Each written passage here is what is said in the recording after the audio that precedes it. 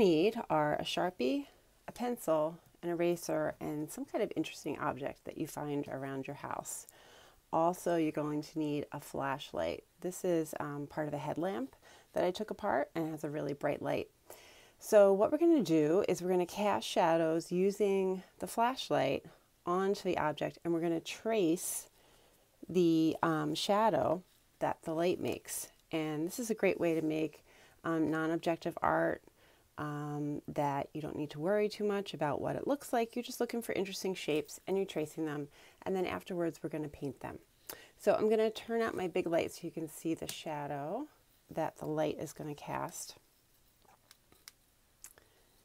So, and I'm going to put it right about there. And you can see I had the shadow right here. So I'm just going to go around and loosely, this does not have to be exact. We're just kind of having fun here. And this makes a shadow like that. And then I just go around the object and go right back to where I started.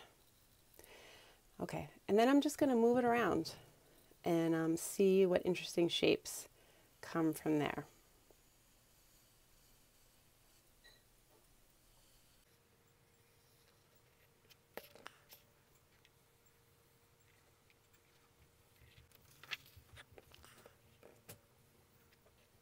So I finished tracing all the shadows of the shell and you could see that I was moving the paper around as I went.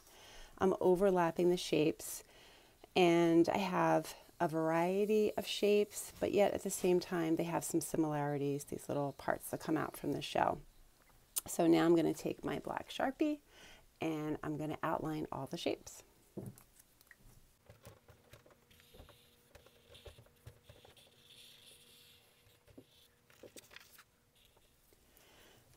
I've got all my shapes traced. And now I'm going to use my eraser and get rid of my pencil lines before I paint. The nice thing about this is there isn't a whole lot of decision making that needs to be done. So if you are someone who doesn't normally make art, it kind of takes the pressure off and the anxiety out of it. And the whole point of this is to do something that's relaxing. And um, once I get all these lines erased, then really we're just going to be going in and playing with color and sort of looking at all the shapes that we've made by overlapping.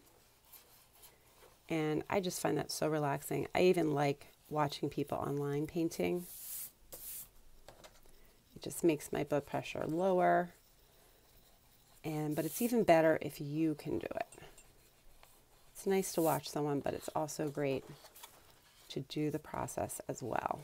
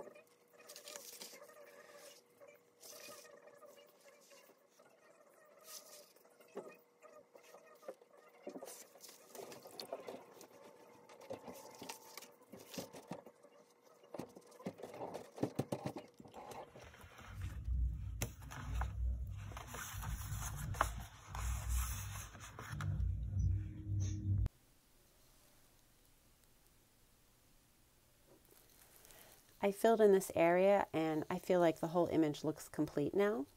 I hope you enjoyed this video and that you feel more relaxed after playing with shadows and painting the shapes that they made.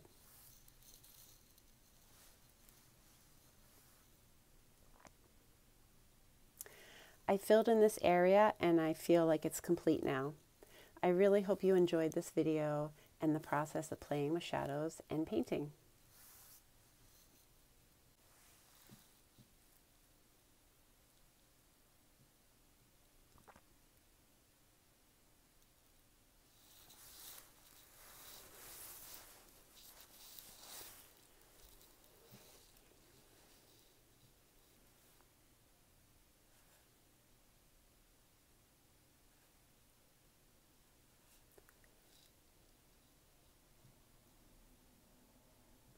I finished painting all of the shapes that I initially made, but I do want to add a little bit more right here. I feel like it's missing. So I'm just going to make a curvy line and paint that.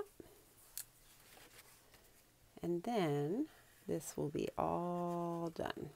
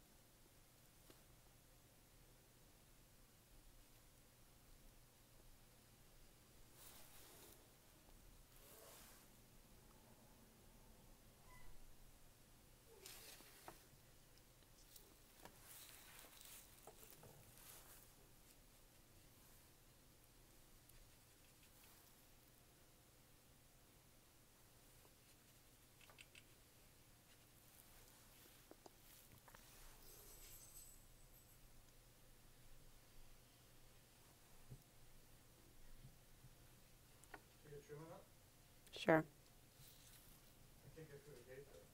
Yes, you, you got to move everything. I know, it's ridiculous. If you see her, let me know. Okay? I'm going to videotape something. Will you let him know? Well, so I had to take it off.